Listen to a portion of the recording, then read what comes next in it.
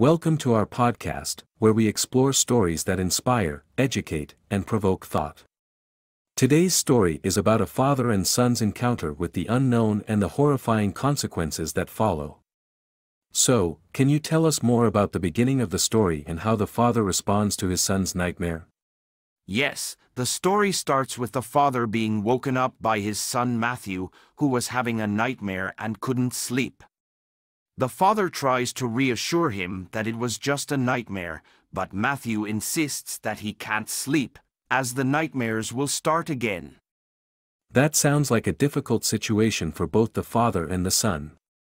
What happens next?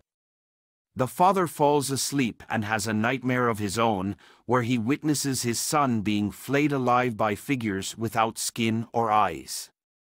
He wakes up to find that his son is missing and eventually finds him in the basement, but his clothes are stained with blood. That's really chilling.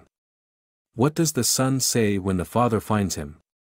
One night, as Mio was using the app, she heard a voice whispering to her. It was soft and soothing at first, but as Mio listened more closely, she realized that it was telling her to hurt herself. Mio tried to stop using the app, but she couldn't. It had taken over her life, just like her anxiety had. The voice became louder and more insistent until Mio felt like she had no choice but to listen. That's a really scary situation. What happened when Charlotte found out about what was going on? Charlotte came over to check on Mio, and she found her friend lying on the floor, barely conscious, with cuts all over her arms. Mio had been so consumed by the app and the voice in her head that she had resorted to self-harm to try and make it stop.